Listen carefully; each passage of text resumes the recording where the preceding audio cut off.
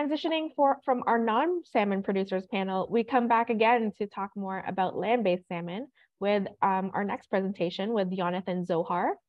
Jonathan Zohar is a professor and chair of marine biotechnology at University of Maryland.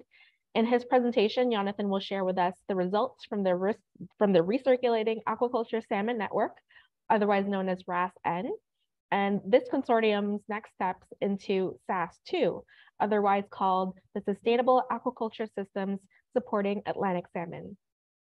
Jonathan, welcome. Thank you for being with us.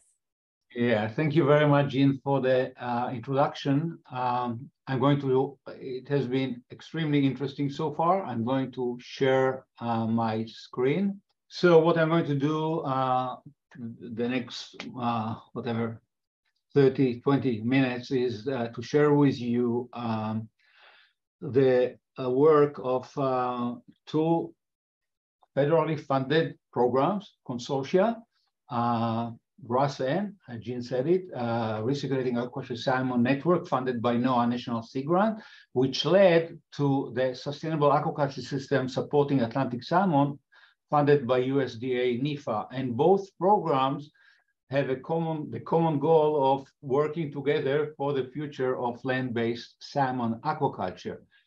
Uh, the context, and most of you know this better than me, and over 90% or about 90% of salmon consumed in the US, for about 500,000 tons, come from overseas at a value of about $3.2 billion, which represent about 20% of the seafood uh, trade deficit in the United States.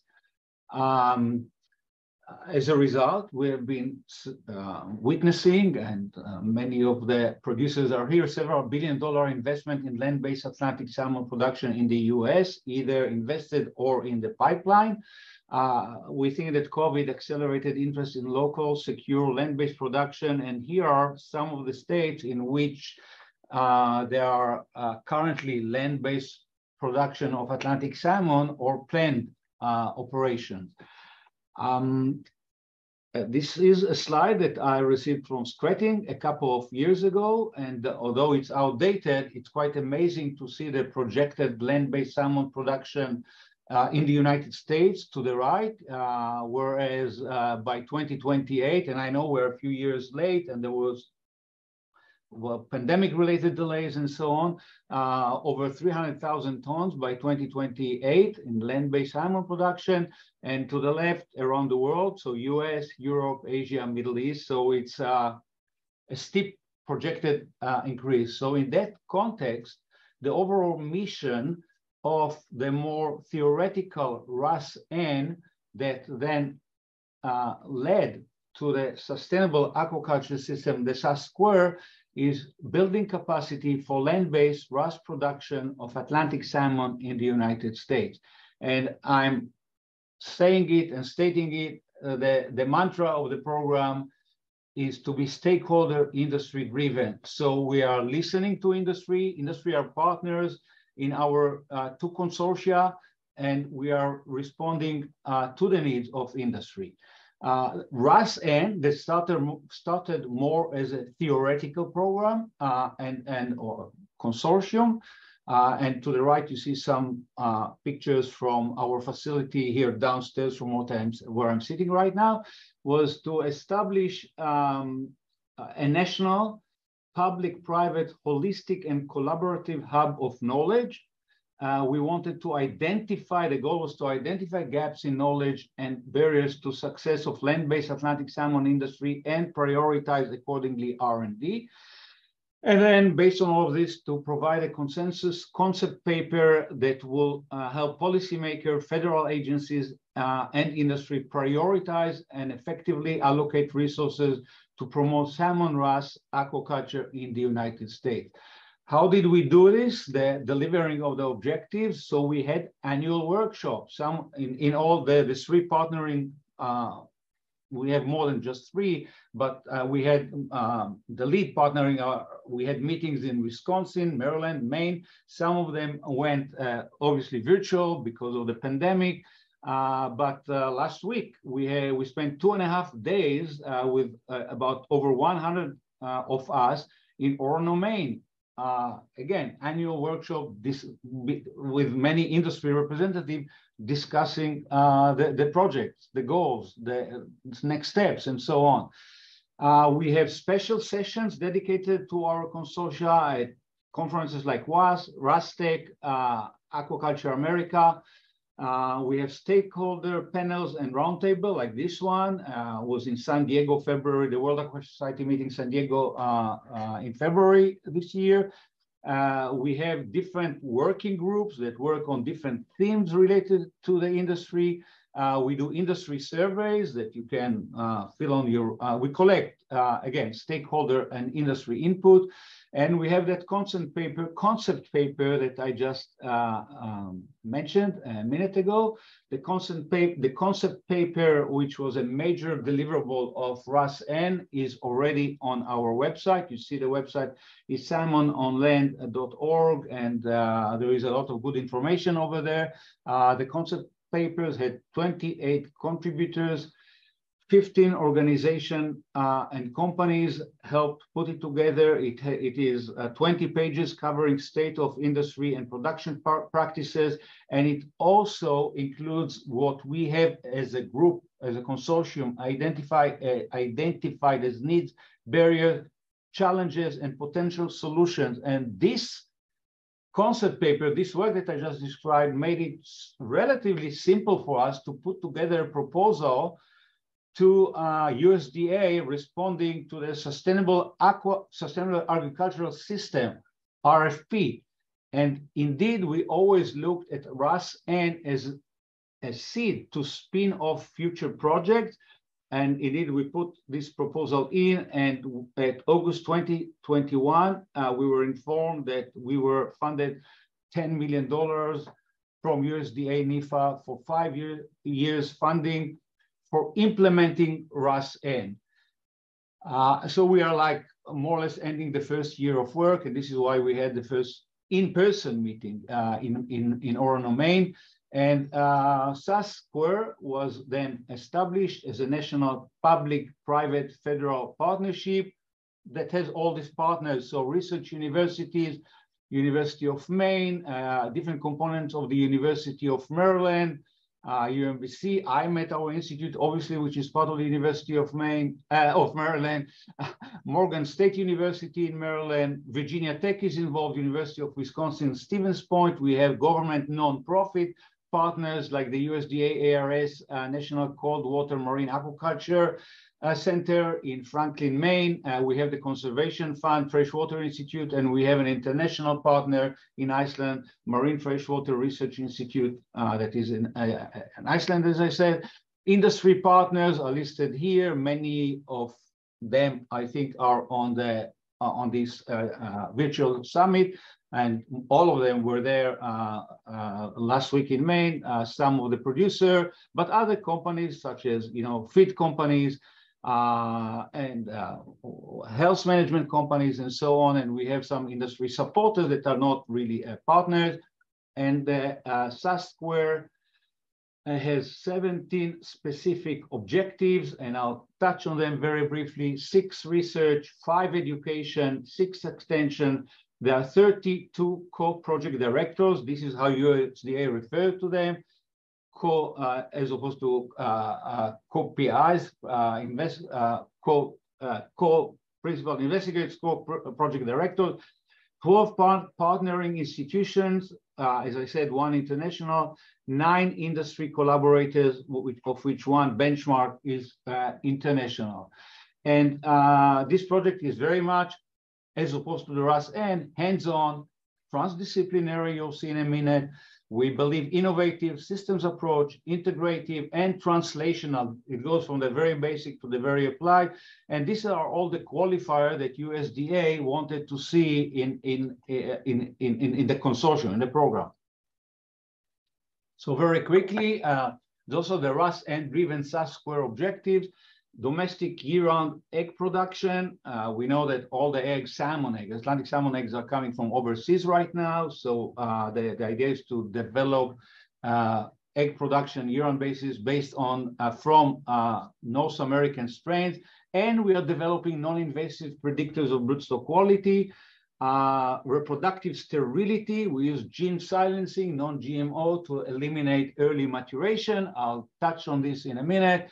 Uh, off flavor, we heard a lot about the off flavor. We're looking at the understanding sources. Uh, we're doing, we're using metagenomics and we are characterizing the microbiomes and mitigation.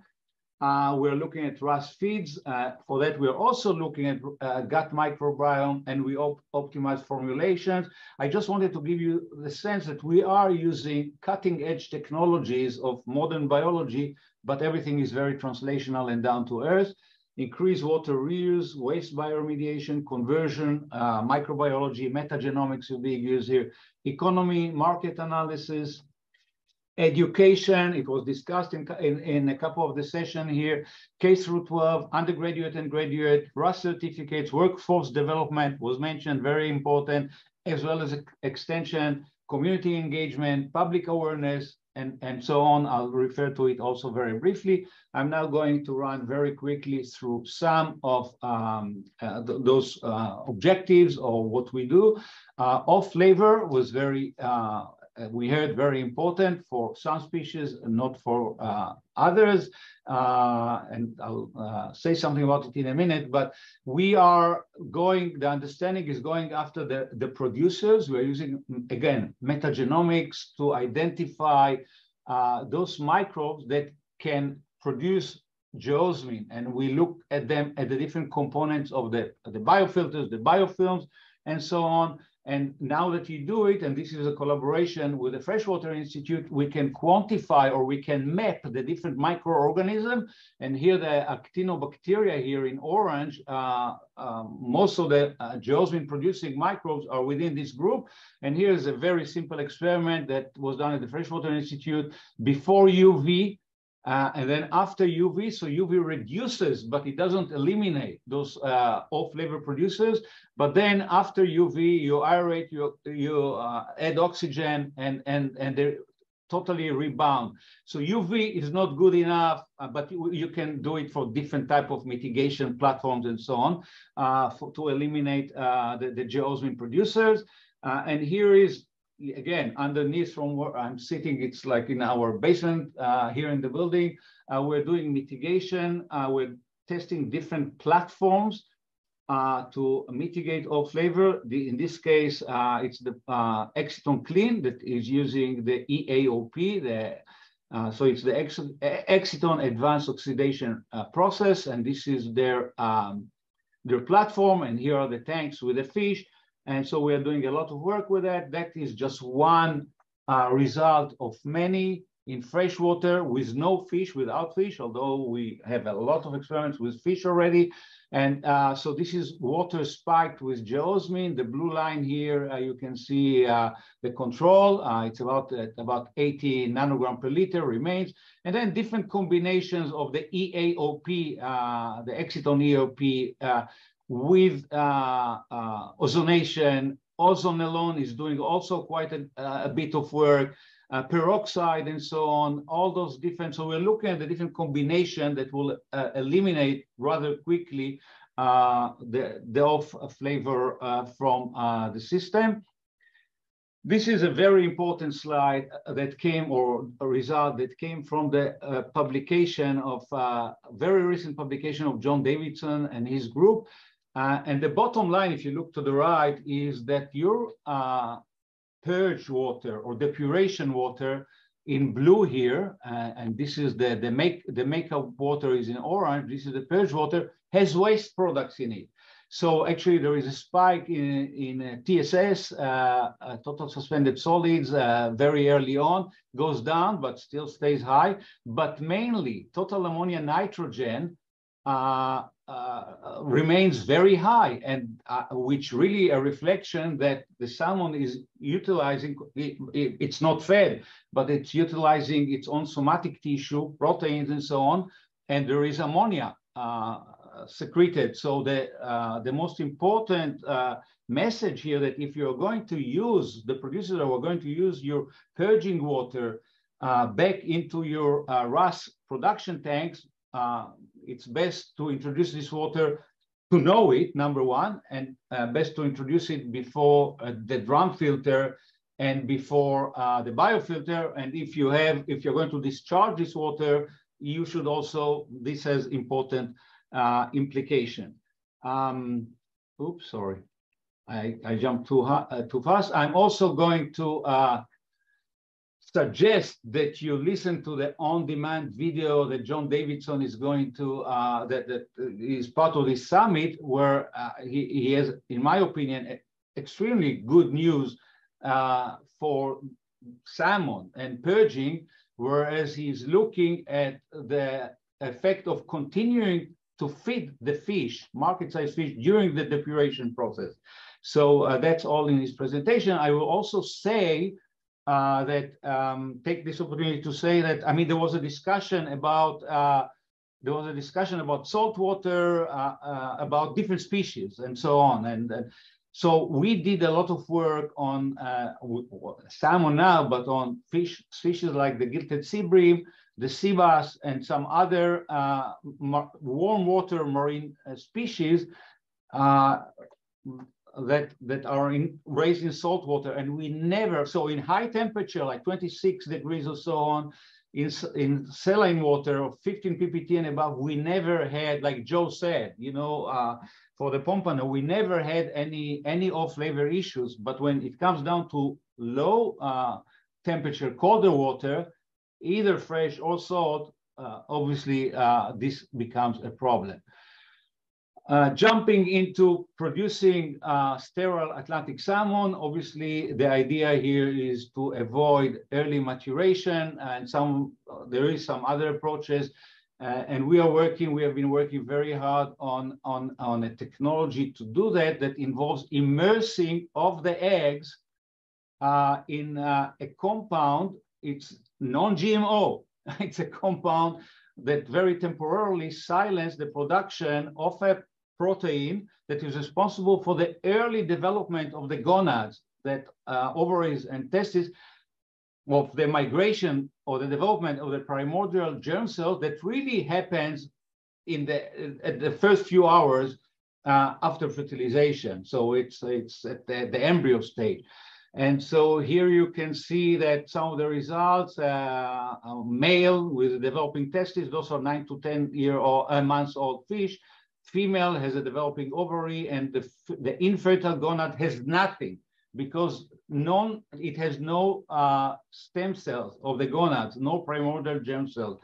And uh, uh, obviously this is all uh, confirmed by histology. And you ask me why it's not out there. We are now at 75% max sterility, similar growth. So right now we are the current uh, trials, we are uh, trying to optimize condition for 100% sterility. And once it's going to work, it makes a lot of sense uh, because uh, you do it, uh, as I said, you immerse the eggs and, and many uh, in many of the large uh, scale hatchery you use robotics. Here you can see the different buckets or containers. Each containers have eggs from one individual female. And here's a syringe that goes and a, a, robotic arm that goes and deliver the sperm. So at the same time, with the same kind of robotics, we can add another arm that is going to add the compound that we are using uh, for uh, to induce sterility. And you can do it at fertilization. The immersion would be for 24 to 48 hours. Uh, at fertilization, there is water uptake, so uh, the compounds are going to be uptaken by the uh, more efficiently. But on the other hand, the egg is hardening. And now we're actually working more at pre-fertilization immersion for 24 to 48 hours. The, the micropyle of the egg where the sperm goes in is, is open.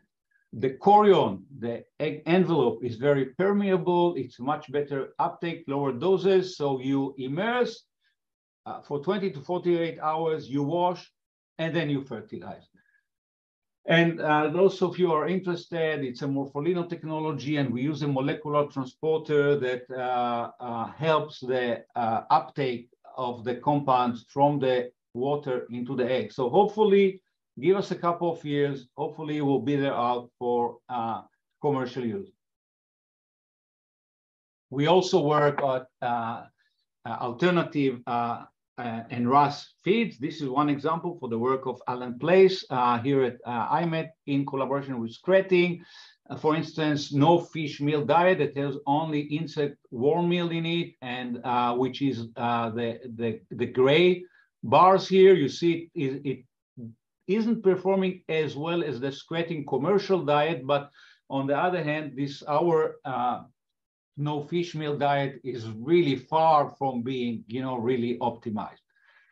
Uh, we are working on domestic year-round egg production. Nothing new about it. Okay, benchmark, Stofnfiskur, know how to produce eggs year-round basis. I've been doing it years ago in Maine and so on, for other species.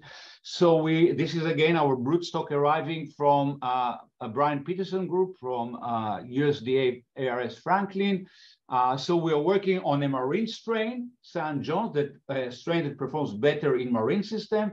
And University of Wisconsin uh, is working at uh, Stevens Point on a freshwater strain, Gatsby strain. And we are also developing um, and we're also developing non-invasive like mucus, uh, mucus wall-based metabolic, metabolomic, transcriptomic-based predictors so we can tell very easily broodstock and egg quality. And those are the groups that are involved in it. And this is again, our tanks downstairs where the uh, fish are being exposed to phase shifted environmental conditions. So they spawn on a year round basis. Now talking about what has been discussed a lot so far in this summit, um, the, the, the, organic waste, solid waste produced by RAS. So if you do the calculation here in the blue uh, square here. Uh, so about 20 to 25%, the rule of thumb of the feed load, the feed offered, uh, uh ends up as a solid waste, as sludge. Uh, sorry, as a solid waste. This is dry to dry, 20 to 25%. Now, if uh, you convert it to sludge, and again, here are the calculation, but the bottom line is that 100 ton salmon farm produces about 20 ton sludge at 400 at 4% daily. And I'm not sure, Tom, you said a number. I can't remember what it was. Maybe you said 25 tons, but I don't know for you know what period. But 100 ton salmon farm, if you do the calculation, more or less produces generate 20 ton of sludge, 4% daily. What do you do with that? And this was uh, discussed a lot. So our approach was to convert salmon solid waste to fuel grade methane, biogas, and we start by enriching the methanogens that are naturally there. So this is like uh, sludge from salmon tank and uh, the waste include, uh, has in it some methanogens that we are enriching and so on.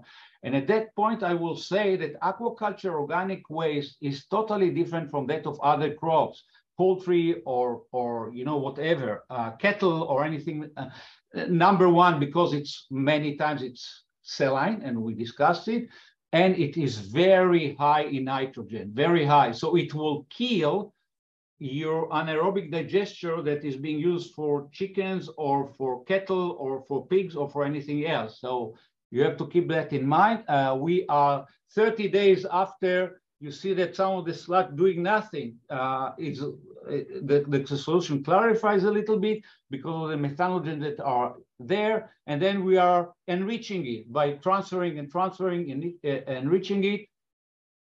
And then we are doing methanogenic, again, uh, metagenomic analysis to know what are the microbes that are there that we want to enrich, and we are enriching accordingly by the feedback that we receive from the uh, metagenomic analysis. I, this is a complicated slide, but we end up with a consortium, a, a microbial consortium of, of five different microorganisms that are going to do the anaerobic digestion. So it's not as simple. And once we have uh, this enriched uh, consortium, we scale it up. It's uh, from 20, uh, uh, 200 milliliter in a fermenter that we have upstairs here in the building of 250 liter. Here's the fermenter. And then once it's fermented and mass produced, we collect it into this, uh, we centrifuge it, collect it into this 20 liter canister, and then we uh, inoculate it. So here you see in our facility downstairs here, we are inoculating it into a sludge holding tank, the, the, the, the, enriched consortia, and then it goes, in, in this case, in our tanks, it's a small 100 liter, one cubic meter uh, anaerobic digester. And then right off the fish tank, you generate energy, you generate combustible biofuel. And uh, here you get you can get so right off the fish tank, you can either burn it, like as you can see to the left, or you can start a methane-driven generator and uh, produce electricity. And there was like some discussion earlier on. Uh, this is again right off the fish tank. Some of the bottom lines here. So we had we developed this technology and this mi microbial consortia for either freshwater or saline system, cold or warm water, and those are different consortia for all these different conditions. So we tailor them. Okay, it's custom made and we can obtain up to 90% reduction in organic waste, depending on feed type mainly, uh, but and other conditions. But uh, the last point, energy recovery, our calculation, and I'm happy to go with you over the calculation, uh, are that you are going to, by doing that, and the initial idea to obviously to be friendly to the environment, to have no solid waste, but you also are recovering about 8 to 10% of your energy OPEX, 8 to 10%. And that's quite significant. So we went ahead and in collaboration with Turner Engineering in, in Norway, this was scaled up in Cermaq, in a Cermaq small production operation in northern Norway, one, uh, 1,200 tons of small and we built a 100 uh, cubic uh, uh, 100 cubic meter bioreactor, sludge to biogas again. And I'm just standing there to standing there to show you the, the scale. Again, 100 cubic meter of a bioreactor. And what they do uh, in Cermaq, they use uh, the bio, because they're very north in Norway, they use the biogas to operate uh, methane-driven boilers and to heat their water. And then they have a flare because sometimes they produce too much methane and, and uh, they have significant offset of their energy cost. Again, our calculation is 8 to 10%.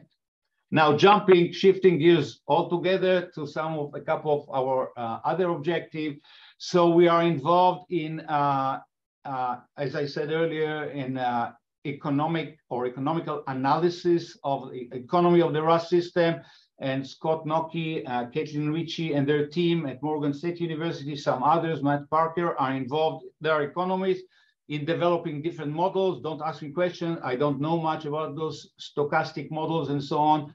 But I think the bottom line, and we heard it uh, from Carl earlier today, I mean, there is, a, and we all know it, there is an economy of scale here, and you need a premium price to make sure that you are profitable, at least in Atlantic salmon.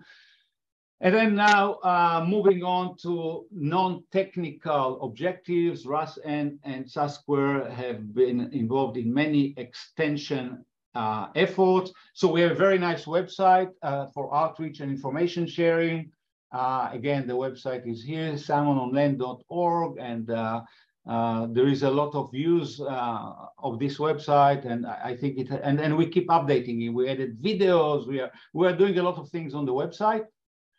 And we have several other extension, outreach, and education efforts, which are uh, conducted uh, at, by the three lead universities, University of Maine, University of Wisconsin, Stevens Point, and University of Maryland.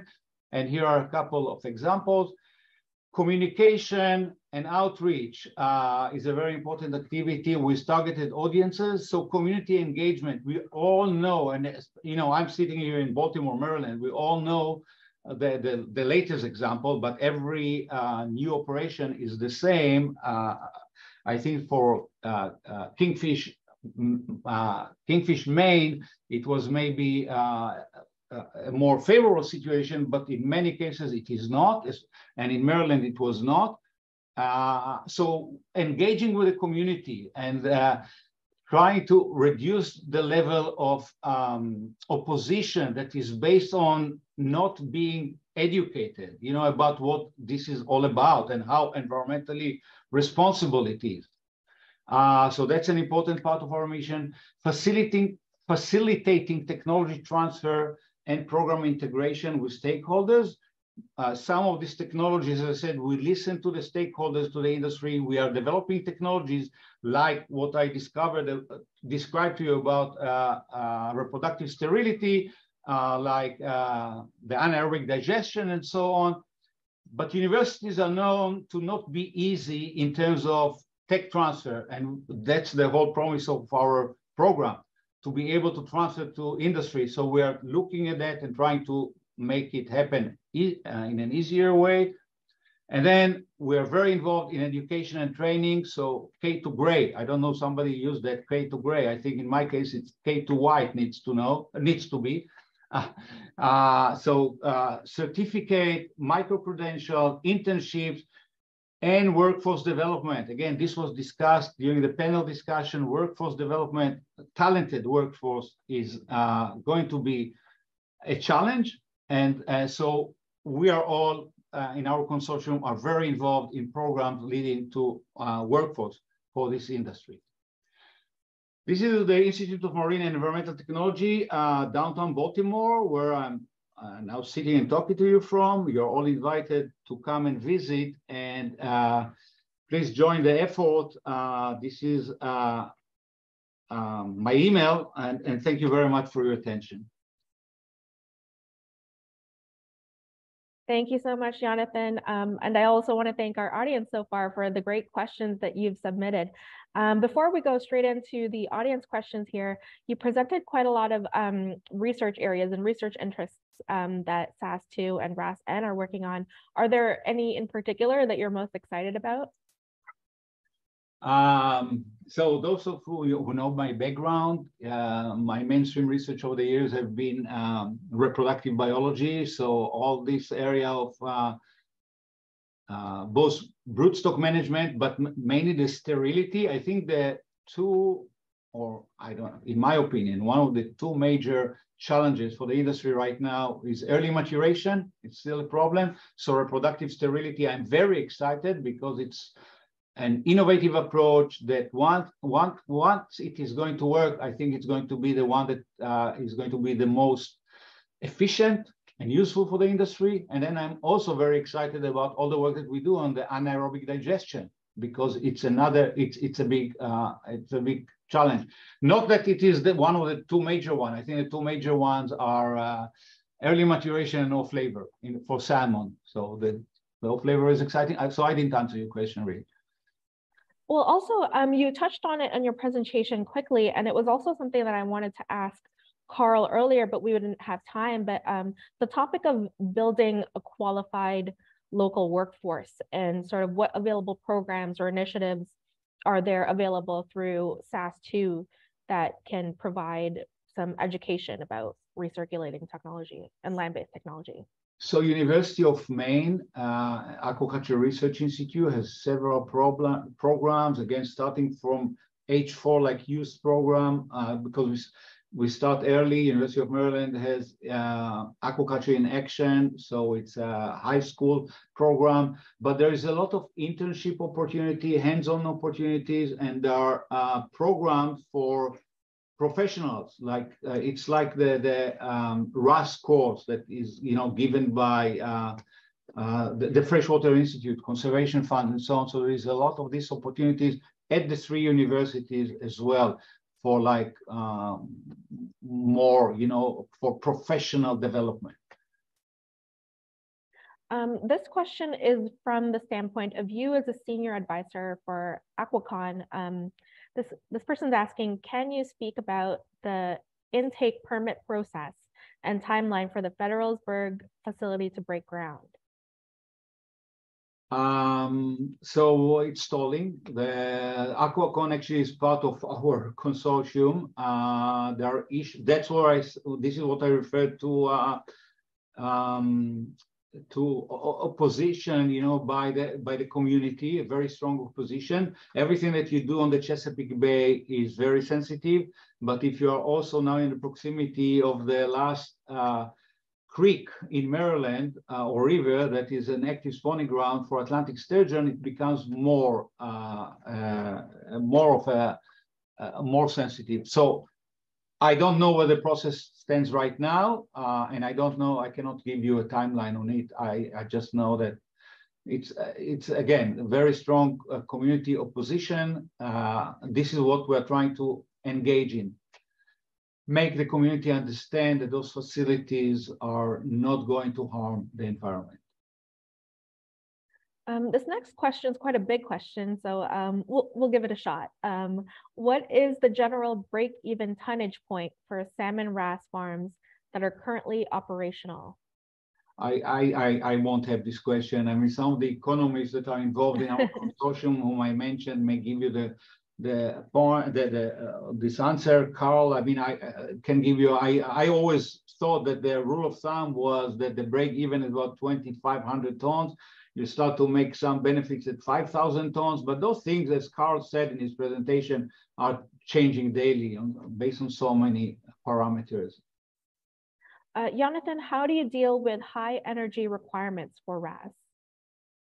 So one way to deal with it, uh, I think RAS, again, people ask me a lot, why is RAS happening only now? All of a sudden, this big boom. Where were we five years ago? And I said, I mean, five year, years ago, it was not technologically mature, and I think now it is.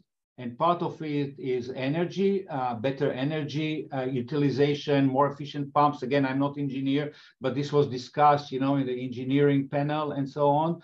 And the other way is, uh, which I'm I, I I'm proud of, is uh, the you're converting your uh, waste into biofuel and uh, you reduce some your, of your energy costs. But again, you know, this is a question that the engineers can answer much better than I. Um, this person writes, I'm particularly interested in the sterilization work being done. In Michigan, we stock Splake, which is a brook trout and lake trout hybrid, and have created some highly popular recreational fisheries. Some have expressed concerns regarding potential back crossing with the brook trout and the lake trout. Any thoughts on how the sterilization technique being used for Atlantic salmon may translate to other salmonid species and hybrids? Uh, it will be like almost 100% to salmonid species transferable and applicable, no problem at all. And I didn't say it because this is a RAS meeting, but obviously the, the goals of the uh, reproductive sterility in our context is to eliminate early maturation. But in the net pen industry or such recreational industry, you want to avoid any possibilities of crossbreeding, which is a huge problem of fish that are being escapees from net pens, or in this case, you know, the question, fish that are being released to the natural lake or whatever. It it will it, it is like we we I mentioned salmon. I, I didn't have time, but we do a lot of work on trout at the same time as we do it on salmon. Well, we're coming up to our time here, Jonathan. Um, will um, it's if for those who have more questions for Jonathan, we'll kind of share his email on the chat and we'll repeat his uh, slide that he um, of the email slide that he shared. Um, but we'll but thank you, Jonathan, for your time. We appreciate it. And thank you for answering all of our questions here today. Thank you very much.